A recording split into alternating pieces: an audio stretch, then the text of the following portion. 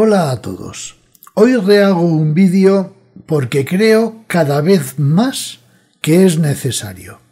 Porque yo siempre me hago la misma pregunta. ¿Qué demonios es un coche premium? Bienvenidos a Charla Motor.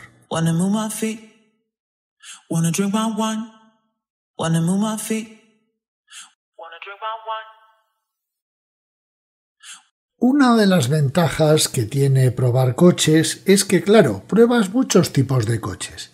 Pruebas desde Lamborghinis hasta Dacias. Y cada vez me reafirmo más en que el concepto premium se está diluyendo como un azucarillo en un vaso de agua. Cuando yo era pequeño, a mí me llevaban al colegio en un 850 como este, blanco, con la tapicería de plástico rojo. Para mí era lo más. Pero cuando me monté en el Mercedes 280 SE Granate con la tapicería beige de la madre de mi amiga Mariluz, me di cuenta de lo que era un coche premium, pero premium de verdad. El plástico de la tapicería se convertía en cuero y la chapa vista por dentro se convertía en madera de raíz. Del motor, etcétera, etcétera, ni hablamos, claro. Y entonces teníamos claro lo que era un coche premium, porque un coche premium se distinguía de otros coches en varios aspectos. Vamos a analizarlos. El primero es algo clarísimo. Cada fabricante tenía motores propios, desarrollos propios y una gran variedad de motores. Además, un coche premium se distinguía porque tecnológicamente estaba a la última. Me acuerdo de ese Mercedes que tenía luneta térmica trasera, la repera. Y lógicamente la calidad de materiales era superior, no solamente mecánicamente, sino que tú te montabas en un coche de estos y percibías rápidamente madera, cuero, y si ya el coche era inglés tenías hasta cuero Connolly. Por supuesto tenías también cuero napa y los americanos tenían hasta piel de búfalo. Y lógicamente esos niveles de calidad te llevaban a niveles de seguridad. Los coches empezaban a llevar frenos de disco, asistencias, un montón de cosas. Tú veías claramente que un coche de estos estaba muy por encima de la media. Lo mismo con el equipamiento. En los años 70 un coche con aire acondicionado era una rara avis. Pero los coches premium lo traían. Y por supuesto las opciones de personalización eran infinitas. Colores, tapicerías, accesorios, etcétera, etcétera, etcétera. Prácticamente, si tenías la paciencia de esperar, te hacías un coche auténticamente a medida. Pero ahora, a raíz de esta neurastenia que le ha entrado a algunos por la ecología, los fabricantes están más preocupados de poder cumplir las emisiones y de poder pagar las multas por emisiones y de poder transformar toda la industria a un hipotético éxito del coche eléctrico que yo cada vez lo veo más complicado, que de hacer coches atractivos. Pero claro, tienen que hacer coches atractivos porque tienen, excepto Europa, al resto del mundo que se está cachondeando de nosotros, emiten como si no hubiera mañana y encima compran los coches de verdad buenos que aquí no puedes vender, porque el multazo es de órdago. Es para darnos con la mano abierta, es que lo digo así. Señores, o todos jugamos a lo mismo, o rompemos la baraja. No podemos ser los únicos paganos que estamos gastándonos fortunas en no contaminar y luego llega un chino, un ruso o un norteamericano, emite lo que le sale de ahí y encima te vende el producto. Lo dicho, para darnos con la mano abierta. Por tanto, tenemos que el usuario europeo tiene que pagar la multa, eh, emitir poco, mm, irse a un coche eléctrico que resulta que el 65% de la generación de electricidad es emitiendo más que los coches. En fin, todo un despropósito. Pero estábamos hablando de los coches premium. Total, que los fabricantes se han encontrado que tienen que cambiar su filosofía de venta. ¿Y a dónde estamos llegando? A la desaparición del coche premium. Y vamos a verlo aplicando los mismos criterios que acabamos de ver. Fijaos, por ejemplo, este coche, esto ya no existe. Y este es un coche que tiene 20 años. Pues bien, esto ya no existe. Y no solamente es que ya no exista, es que los que existen no pueden circular por las ciudades, se lo han prohibido. Así que el dueño de este coche, que imaginaos cómo está este coche, pues claro, un coche premium esa es otra, te duraba 100 millones de años, pues se tiene que comprar otro coche para poder circular. Pero antes de empezar os quiero explicar algo que para mí es importantísimo que son los multazos. Los multazos a los que están sometidos el 90, por no decir más, por ciento de los coches que se venden en Europa.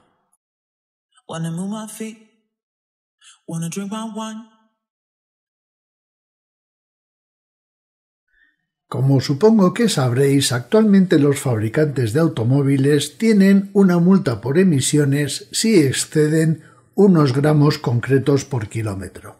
Aunque esta normativa tiene un montón de trampas, porque si tú vendes un coche eléctrico o una serie de cosas, como por ejemplo montas faros LED, tienes una serie de bonificaciones. Entonces, los fabricantes han hecho sus cuentas, por cierto, al final no han pagado multa en 2022, no ha hecho falta porque no han llegado porque han logrado, por un lado, colocar coches eléctricos híbridos e híbridos enchufables y por otra parte, montar en los coches pues estos mecanismos como el start stop, etcétera, etcétera, etcétera.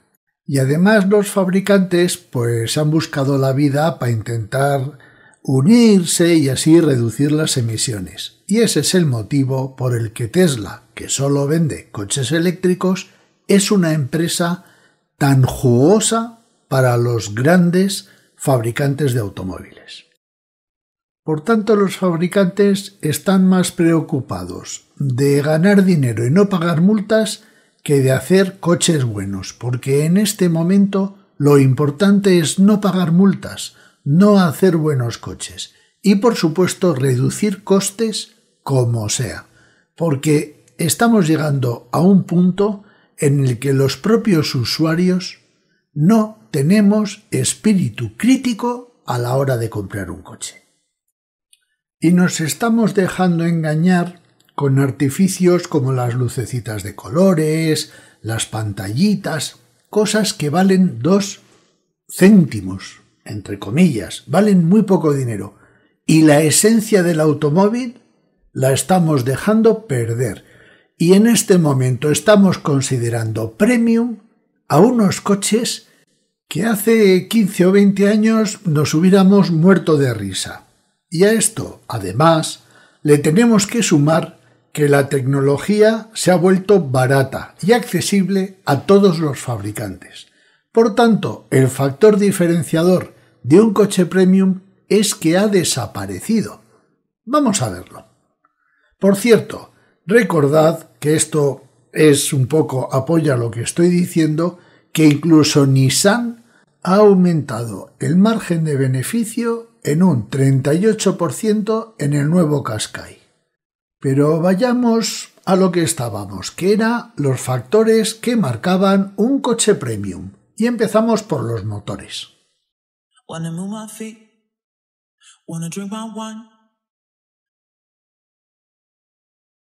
Los motores siempre han sido un factor diferenciador en los coches, sobre todo para diferenciar a los coches premium de los coches generalistas. ¿Por qué? Porque las marcas premium te permitían una gran variedad de motores.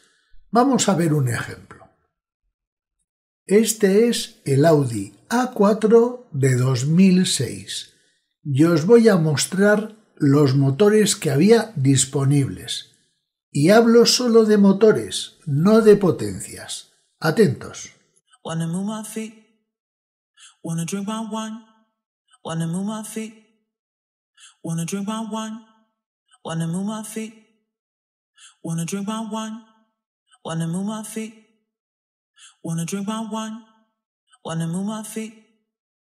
Bueno, ya paró la cancioncita. Nueve motores. Ahora echemos un vistazo a la gama de motores para el Audi A4 en 2022.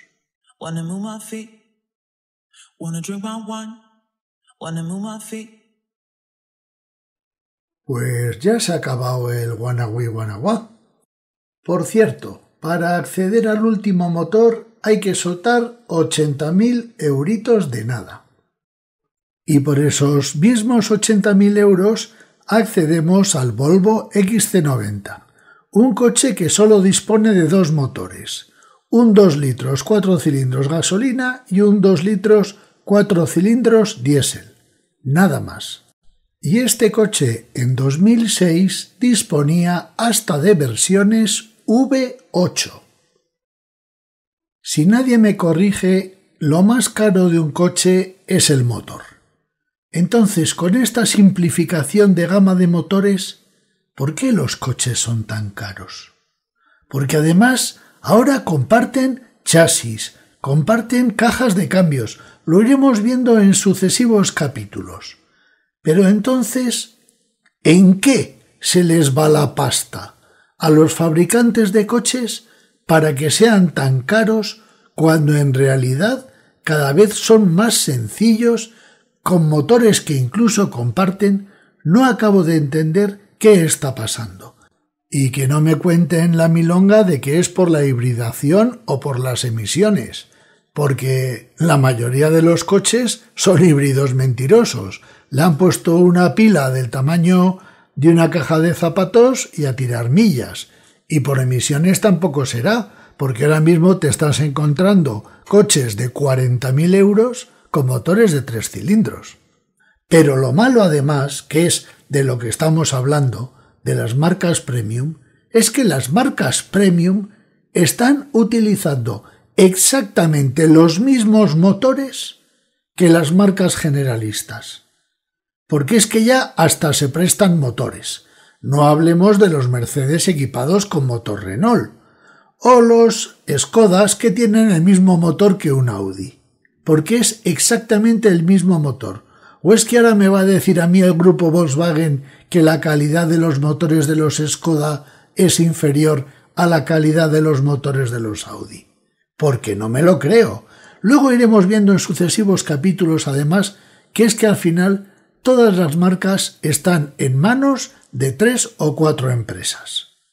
Espero que os haya parecido interesante este primer capítulo. Muchísimas gracias y hasta la próxima. Ah, y toca suscribirse, ¿eh? que no me enteré yo.